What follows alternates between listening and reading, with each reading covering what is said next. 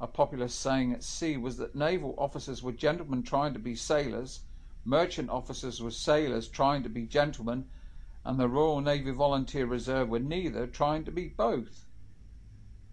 During the Great Depression, seamen who had jobs hung on to them, while master mariners signed on as able seamen, and others trudged around the shipping offices looking for work. Often conditions on board were poor and food inadequate. For the men on the tramp ships, conditions never really improved, yet as part of the merchant navy they would have become essential to move war material and troops and to support evacuations and invasions.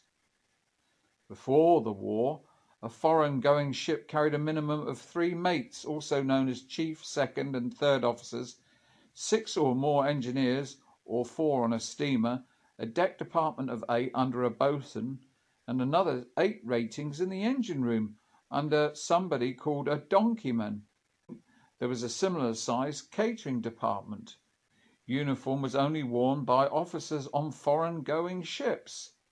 Petty officers and ratings usually wore dungaree trousers and shirts with an old jacket in colder weather.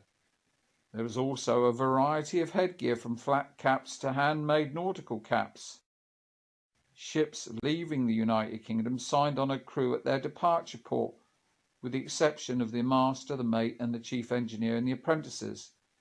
In merchant navy slang, the crew were known as the crowd, as in she had a Glasgow crowd.